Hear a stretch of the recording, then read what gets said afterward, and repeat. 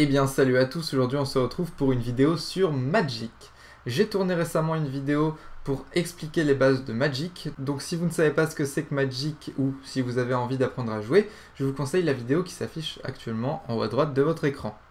Bref, jouons Aujourd'hui, on va faire juste quelques games comme ça, tranquille, posés. On va pas forcément avoir une grosse stratégie de malade, on va juste faire des games tranquilles, histoire de vous faire découvrir le jeu si vous ne l'avez pas encore découvert, et on va s'amuser et prendre du plaisir. Après, c'est vrai que si vous ne connaissez pas du tout Magic, vous n'allez pas vraiment comprendre grand chose à cette vidéo, puisque je pense que je vais surtout parler des cartes que j'ai en main et de ce qu'il faut faire et comment réagir à l'adversaire, donc si vous ne connaissez pas du tout, ça va être compliqué, je pense. Mais bon, tant pis, on est là pour s'amuser, donc c'est parti.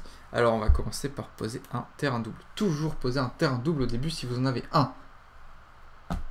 Et là, je pense que c'était la meilleure chose à faire.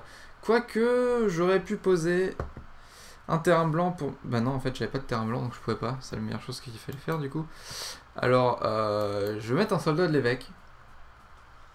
Comme ça, il pourra pas me, taper avec son, truc, là. Aïe, aïe, aïe. Par contre, euh, pour 2, ça peut faire une 3. Hein. Ça embête le monde, ça. Alors, qu'est-ce que c'est que ça? Pour 8, il le sacrifie, ça cible jusqu'à deux créatures infligent 3 blessures à chacune d'elles. C'est pas mal. Et puis euh, si jamais c'est une 1-1 menace. Ça me paraît legit. Et c'est quoi le truc? Ah d'accord, c'est parce qu'il en a deux. Oh là là, quelle saloperie Aïe aïe aïe aïe aïe Plus 1, plus 1. Bon, bah il joue un deck gobelin. Donc je suis dans la merde. Enfin, pour l'instant. Aïe aïe aïe aïe, 14. Mais pour l'instant ça va, ça va. C'est encore gérable. Voilà, je gagne un point de vie, j'attaque avec ça. Comme ça, je gagne un point de vie et il en perd un. et j'ai déjà quasiment récupéré ce qui m'a qui m'a pris. C'est génial quand même. C'est génial. J'adore les decks vampires. Quand je joue euh, à Magic, euh, bah, aux cartes, du coup, pas aux jeux sur PC, j'aime beaucoup jouer les vampires. Alors, hmm, ça vaut pas vraiment le coup de claquer un homicide pour tuer ça. Il y a peut-être un truc à faire là. Oui, il y a complètement un truc à faire. Alors vous êtes prêts? Non, je crois que lui il est pas prêt en tout cas. Alors en fait, logiquement s'il est pas bête, il va me bloquer avec deux créatures. Voilà. Trois créatures, pardon.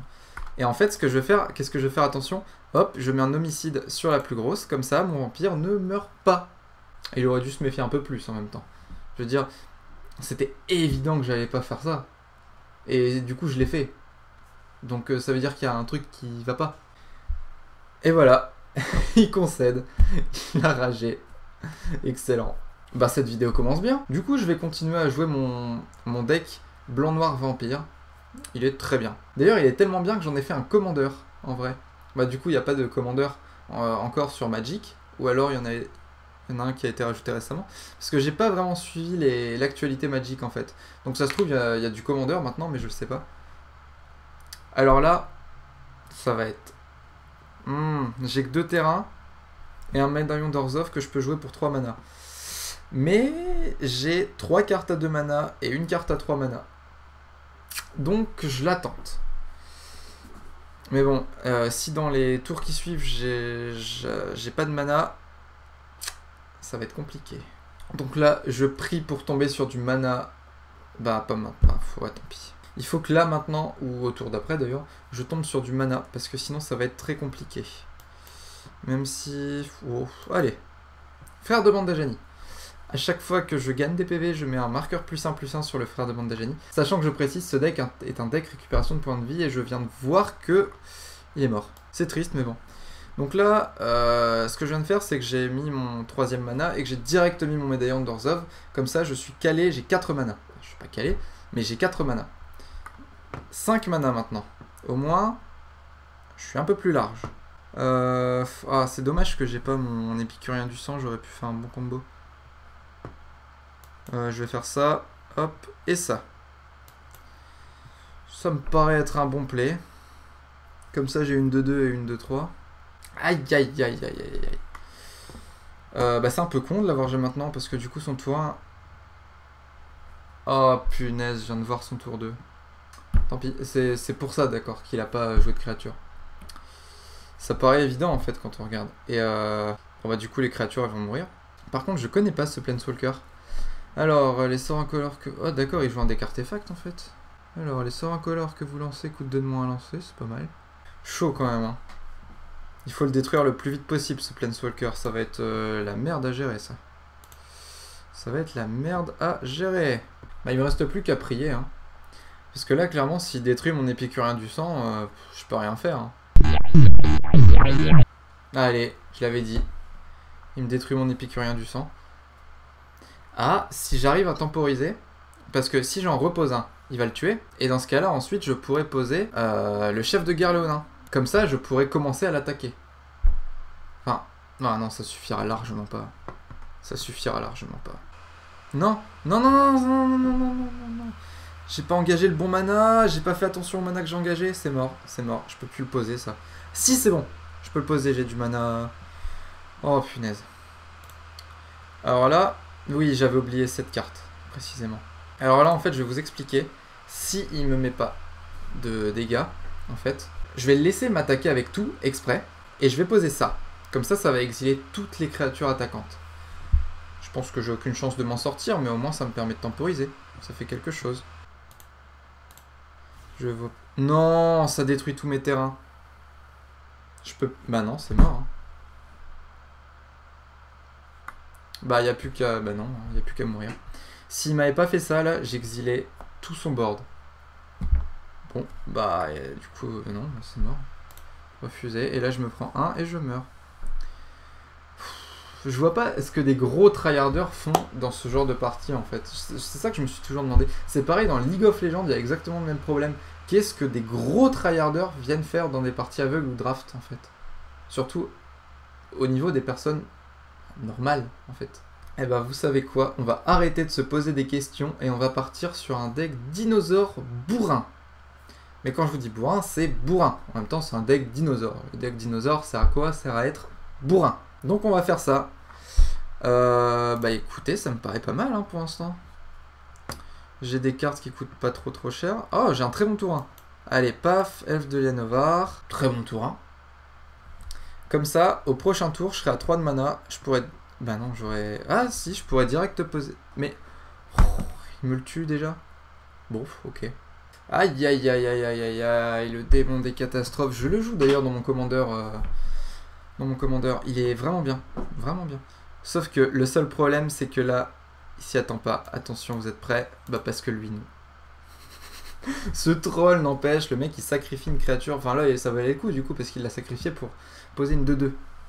Il doit être dégoûté, n'empêche. Pour l'instant, ça va, je bourrine bien. J'ai bien géré la gestion du mana. Rampé, on appelle ça d'ailleurs. Enfin, du coup, je me suis fait tuer ma rampe. Mais euh, en gros, euh, c'est ça quoi. C'est comme ça qu'on joue. Ça me paraît pas mal. Comme ça, je peux le poser tout de suite. Et s'il subit des blessures, eh ben l'adversaire, il est niqué. J'aurais pas dû faire ça, il va défendre. Il va défendre avec les deux.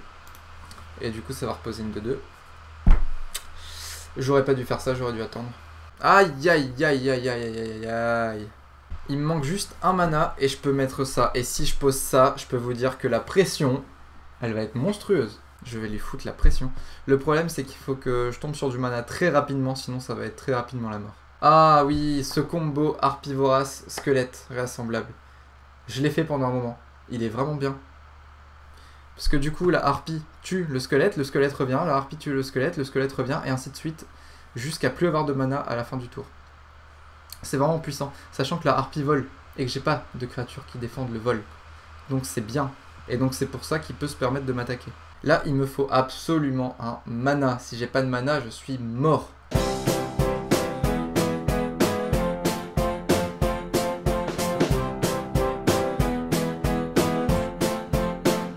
Allez, on s'en refait une dernière. Je me demande sur quel deck on va tomber cette fois-ci. Peut-être un rouge. Je vais miser sur un deck rouge. Je trouve que j'ai plutôt une bonne main de départ. Enfin, j'ai pas mal de terrain. Ah ouais, c'est embêtant ça. Ça, ça se met sur une créature. Ça, il vaut mieux le garder pour le kick. Bah, du coup, je vais jouer tout de suite. Mais bon, ça aurait été mieux de le garder pour le kicker. Du coup, je vais jouer direct la gorge du massif. C'est un deck blanc. Alors, est-ce que c'est un deck blanc? Un deck blanc-noir Un deck blanc-bleu Ça a l'air d'être un mono blanc. Ah, potentiellement un mono blanc vampire. Intéressant ça. Ah, j'ai peut-être une stratégie pour tuer son soldat de l'évêque. Le truc c'est que s'il m'attaque avec son soldat de l'évêque, eh ben je peux mettre un plus 1 plus 1 sur un seul saprobionte, je défends avec, les deux et il me reste un saprobionte. Euh... Problème, est-ce que ça vaut vraiment le coup? Je suis pas convaincu. Mais bon, on est là pour euh, jouer tranquille, alors on va se tenter ça. Euh, je vais d'abord mettre ça, parce que bon, c'est des petites créas à deux. Allez hop, j'attaque, comme ça il me colle de dégâts, je lui en colle deux. Sauf que lui, il a lien de vie, donc euh, c'est embêtant pour moi. C'est ça, il joue un deck euh, blanc, vampire, récupération de points de vie, je pense. D'où l'accueil d'Ajani. Alors là, je suis à 4, je vais pouvoir lui coller ça. Et là, ça va être intéressant de sacrifier les saprobiontes. Parce que, techniquement, je peux pas défendre avec ça, hein, sinon c'est mort. Euh, il faut juste pas qu'il me tue mon raptor. Bah là, clairement, non. Genre, je défends avec ça. Ça me paraît évident. À moins qu'il puisse buffer son soldat de l'évêque. Non, bah, ça meurt. Il récupère deux points de vie, mais bon. Bah, tant mieux pour lui. Hein. Tant qu'à faire. Et je vais pouvoir attaquer avec mon Raptor. Alors, comment l'ennemi va-t-il réagir? La réponse dans un instant. Un mana. Pourquoi pas Ah d'accord, il a fini son tour. Bah, il doit pas avoir des super cartes en main. Hein. Quand il arrive, il met 3 dégâts. Et j'attaque avec tout. Et là, on peut voir qu'il a intérêt à se rattraper parce que sinon, il va être vite mort. En même temps, le rouge, euh, c'est des cartes qui agressent dès le début de partie. Comme par exemple le deck Gobelin. Le Gobelin, c'est vraiment un deck avec des petites cartes qui attaquent direct. C'est beaucoup de la célérité, tout ça. Et les dinosaures rouges, en général, c'est plutôt des dinosaures qui tapent bien, offensifs. Bon, à part celui-là, du coup, c'est un gros dino qui coûte 6. Mais il inflige 3 blessures à la cible et 3 blessures à chaque créature ciblée. Attends, euh, ah non, jusqu'à une créature cible. Donc c'est pas si pété que ça, mais bon. 6 qui inflige 3 à une cible adversaire au Planeswalker et 3 à une créature, c'est quand même pas mal. Euh, les Chevaliers de la Ruée, Progéniture de Raptor. Et pour le finir plus vite, je vais mettre un plus 1 plus 1 sur mon avatar incandescent. Et j'attaque avec tout. Et là, s'il réagit pas très très vite, le prochain tour, il est mort. Comme quoi, les jeux de cartes, en fait, il y a aussi une part de chance dedans. Parce que si on n'a pas une bonne main de départ, ou qu'on pioche pas les bonnes cartes au fur et à mesure de la partie, bah voilà, c'est ça. C'est la mort. Et du coup, pour moi, la victoire. Bah, ce que je vous propose, pour l'instant, c'est un mini pack opening. Vu que j'ai 2500 gold euh, et, un booster aussi, on va faire un petit pack opening. J'ai envie de m'acheter des decks La Guerre des Planeswalkers. Voilà, un et de deux. Alors, on va commencer par l'édition de base M20. Sachant que du coup, j'ai pas encore découvert les, M20 du tout. La dernière extension auquel euh, j'ai joué, c'est la guerre des Planeswalkers. Bah, pas sur PC, mais en vrai. J'ai acheté pas mal de cartes. Mais euh, M20, je connais pas du tout. Alors, c'est pas mal. Plus 3, plus 3 jusqu'à la fin du tour, plus 2, plus 2 supplémentaires jusqu'à la fin du tour. Ah. D'accord, donc ça, plus on le joue, plus c'est pété. Ouais, je vois le truc. Ça, c'est bien pour les decks réanimateurs. La paralysie du sommeil, a carrément... Ah, ça envoie du lourd, hein. Pour 4.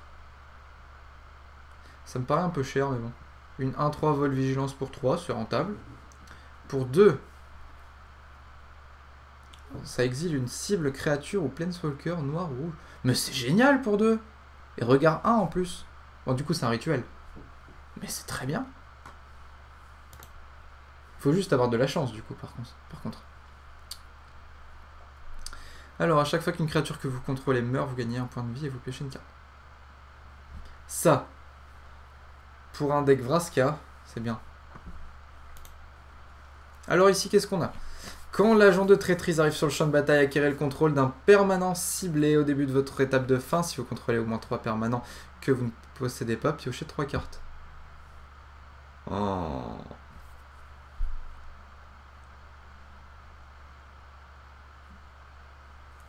Ouais.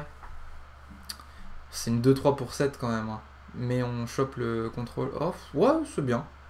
C'est pas mal. Alors ensuite, la guerre des Planeswalkers, qu'est-ce qu'on va avoir? Alors, euh, ça c'est bien, c'est bien, ça fait du mana. Ça c'est bien aussi. C'est bien. C'est chiant pour l'adversaire. On a une Vraska. J'aime bien cette Vraska. Celle-là, je l'ai. Enfin, pas sur. Pas... Maintenant, je l'ai sur PC, mais sinon, je l'ai. C'est bien, ça. Oh, c'est très bien, même, en fait.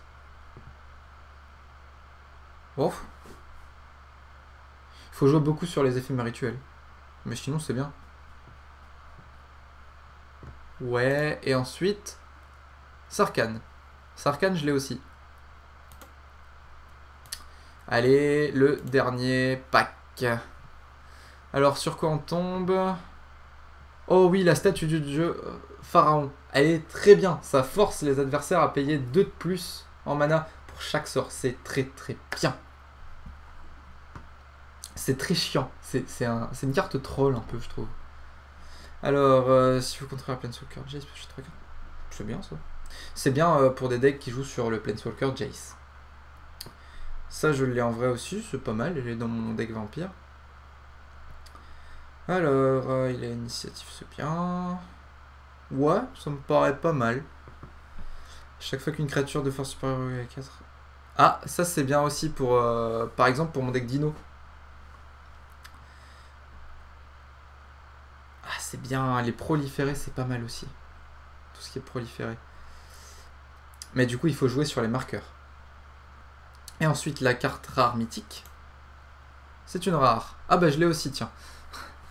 Alors, euh, c'est un véhicule artefact que j'utilise pas. Je l'ai échangé tout de suite d'ailleurs, parce que j'avais une pote euh, qui la voulait absolument. C'est pas mal, mais il faut jouer sur des artefacts. Et des véhicules artefacts. Enfin, enfin des créatures artefacts plutôt. Dans un des cartos, ça passe tranquille. Bon et ben voilà les amis, c'est la fin de cette vidéo. Elle aurait été plutôt courte. On verra au montage si elle est courte ou pas. Mais c'était pas mal de victoires, de défaites, c'est équilibré. Sur ce, j'espère que vous aurez apprécié cette vidéo. N'hésitez pas à laisser un j'aime, un commentaire, à partager la vidéo. Et on se retrouve la prochaine fois pour une prochaine vidéo.